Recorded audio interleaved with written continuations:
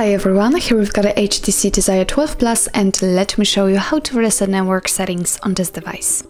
So first of all, let's open the list of apps and enter the settings. Now let's scroll down to the very bottom and tap on the system. And here we've got reset options, so let's enter. As you can see, on the very first position, we've got reset Wi-Fi, mobile and Bluetooth. So let's tap on it. Now your device is telling you that it will reset all network settings, including Wi-Fi, mobile data and Bluetooth. So if you are ready, tap on reset settings. Let's click on reset settings again if you're ready. and let's wait a second. And as you can see, network settings have been reset successfully. So that's all. This is how to reset network settings in your HTC Desire 12 Plus. Thank you so much for watching. If you find that this video was helpful, please hit the subscribe button and leave the thumbs up.